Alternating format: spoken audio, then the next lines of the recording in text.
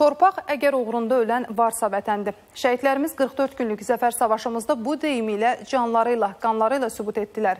Elə Tovuzdan olan şəhidimiz Ruslan Quliyev kimi 36 yaşlı gedimiz müharibənin ilk günündən döyüşlərə atıldı. Birinci Qarabağ müharibəsində şəhid olan əmisinin qisasını aldı.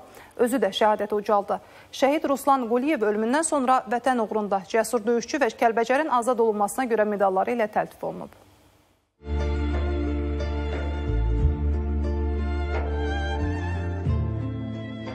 Cəmi 36 il ömür yaşadı Ruslan Quliyev.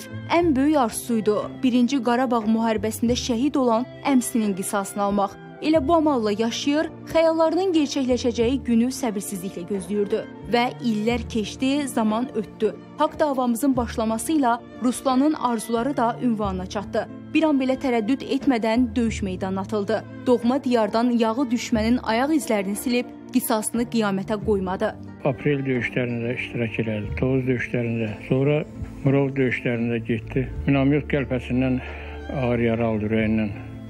Şəhid oldu. Ailəsini qoydu, getdi ancaq torpaqları qoyub getmədi. Torpaqları azad elədilər, getdilər. Dedi, torpağı düşmənin ayaqları altında tapdaq olmağa qoymaram. Ruslan peşəkar döyüşçü olduğu kimi həm də qayğıkeş ataydı. Özü kimi vətən sevdalı üç övlad böyüdürdü. Amma bir namərd güllə bu uşaqların atalı günlərini əlindən aldı. Ruslansa ölümü ilə əbədi yaşarlıq qazandı.